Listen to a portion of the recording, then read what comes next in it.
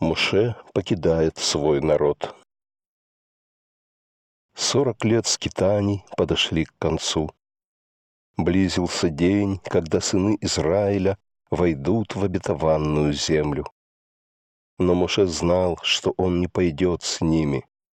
Он был уже очень-очень стар, и ему пришло время умирать.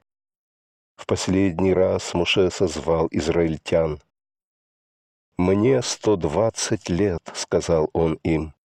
«Я больше не могу вести вас. Бог зовет меня на вершину горы. С горы Нево я взгляну на обетованную землю, куда мне не дано войти. Но не бойтесь, вас поведет Иошуа». Затем Моше возложил руки на голову Иошуа и сказал ему, Будь сильным и мужественным, Господь будет с тобой. И Муше передал Иошуа свиток, где были записаны все законы, которые дал ему Бог. Затем Моше обернулся к народу и сказал, «Слушай, Израиль, Господь Бог твой, Господь один.